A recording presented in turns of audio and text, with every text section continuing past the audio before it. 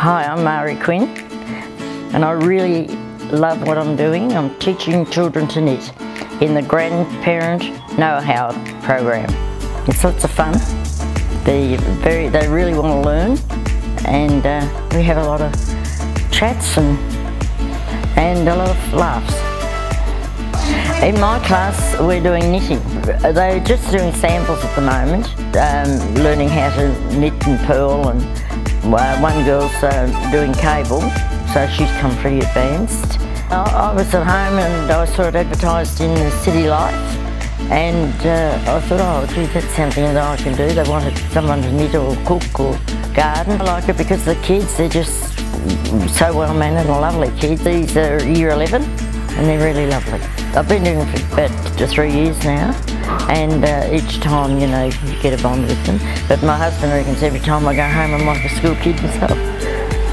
Yes, I'd recommend it and don't be worried about the children, they're, they're just lovely. Got five weeks off at the moment and they're the first group that have said, can we take our knitting home and try and do it at home? Yeah, yeah, very proud of their work, yeah.